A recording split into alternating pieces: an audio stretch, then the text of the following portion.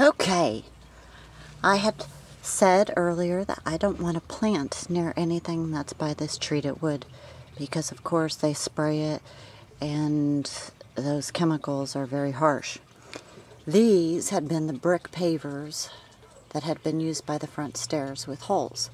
So here's my solution.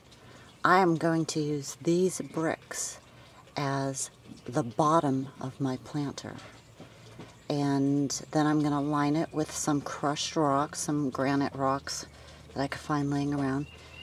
Then lay a bed of this type of plant material and then fill it with topsoil. So I'll be back to show you what the planter looks like along the bottom of the deck. Probably, I might have it done in a couple hours. All right, see you later.